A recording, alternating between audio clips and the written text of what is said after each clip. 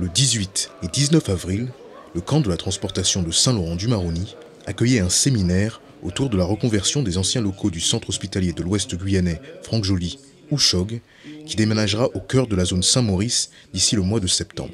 Deux journées riches en échanges entre différents élus, experts du bâtiment et de l'urbanisme, acteurs culturels locaux et d'ailleurs, et habitants de la commune.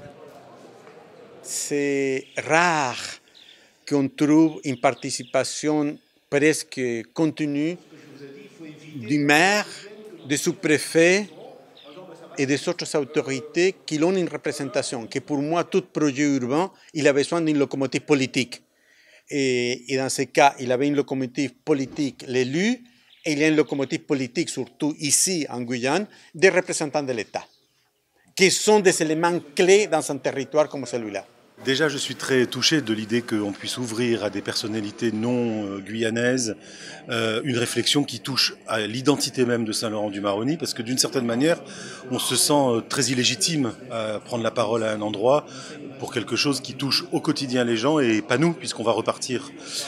Donc c'est déjà très, très respectable de permettre à des gens d'avoir un autre point de vue. Ce qui m'a étonné, c'est qu'à l'issue à peu près dans tous les ateliers et dans la synthèse, y compris le maire, disait il faut qu'on trouve un système de gouvernance euh, partagée et coopérative qui convienne à tout le monde. Et, et ça, ça m'est arrivé rarement dans ma vie de faire un séminaire où tout le monde a l'air d'accord sur cette idée de partager les décisions sur la durée.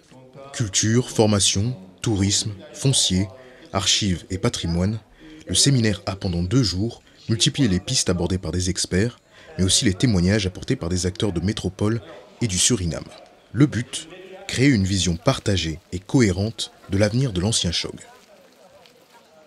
Je pense que le, le, Chog doit être un endroit de, croisement, de convergence, euh, d'action, de collaboration solidaire, traversant la culture, euh, l'éducation, la santé, l'économie, l'administration. Montrer qu'un écosystème comme celui-là eh bien, génère euh, à la fois euh, un élan de vivre ensemble pour, pour, ce, pour ce territoire, euh, invente, permet d'inventer de nouvelles façons de, travailler, de collaborer. J'ai entendu des choses très belles et je pense que si on anime le lieu, d'abord si c'est un lieu de vie où il y a toujours, on peut entrer et sortir parce qu'il y a un bar, parce qu'on peut y consommer, parce qu'on peut y faire de la pratique euh, manuelle, technique, etc.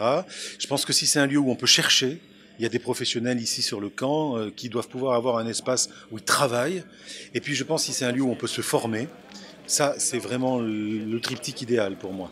Et puis à l'intérieur de tout ce triptyque, il y a un, un lieu commun qui est la représentation, l'événement, le spectacle, la fête. Pas tout le temps, mais à des moments précis. Est-ce que c'est des week-ends? Est-ce que c'est une fois par mois? Est-ce que j'en sais rien?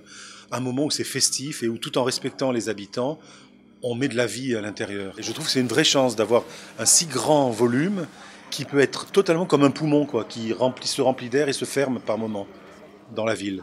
C'est une, une belle perspective pour Saint-Laurent. Si beaucoup d'interrogations restent en suspens, comme le coût et les délais de la rénovation des bâtiments et les projets qui y seront développés en priorité, tous semblent s'accorder sur l'urgence qu'il y aura à mettre des activités en place et à occuper les lieux dès le déménagement du CHOG. Que je veux dire, c'est que là, c'est mûr et il faut pas perdre l'occasion parce que c'est le moment où il faut y aller, c'est le moment où il faut foncer. Et, je dirais presque que euh, si euh, le, le, système de gouvernance se met en place, mais au-delà de ça, ce que j'en tire aussi comme conclusion, c'est qu'il faudrait que des choses se passent le plus vite possible dans le lieu. Pas attendre qu'on gamberge, etc. Il faut se dire que dès la rentrée, enfin dès que c'est possible, en fait, on ne sait pas encore si c'est septembre, décembre, janvier, mais dès que c'est possible, il faut qu'il y ait des choses qui se passent et, et partagées pour faire venir les gens de, de la ville, des quartiers, etc. Quoi. Il faut tout de suite en prendre possession. Il faut tout de suite créer quelque chose euh, sur ce site. Il faut que les gens se l'approprient. Quoi. Autour de la culture, pourquoi pas Il y a peut-être d'autres idées. Et puis surtout tenir compte aussi des gens qui vont y rester, parce que c'est une donnée quand même importante et fondamentale. Et, euh, et créer du lien, du lien avec la population. Et c'est vrai qu'un élément qui, a, qui est arrivé assez vite pendant le séminaire, c'est la question de l'espace public. Ouais. C'est vrai que l'espace public peut offrir aujourd'hui au CHOG une, une, comme un point de départ extrêmement rapidement. C'est-à-dire que demain, on peut faire une pièce de théâtre, un concert, quelque chose dans l'espace public pour déjà annoncer et amorcer quelque chose qui montre que le choc, c'est un petit peu autre, autre chose. Mais l'espace public du choc, je pense que c'est tout de suite là, maintenant, quelque chose qui peut partir très rapidement.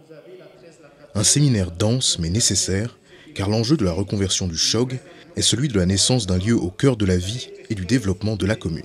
Les réflexions continueront tout au long de l'année et le mois de septembre pourrait déjà voir la mise en place des premières activités du CHOG reconverti.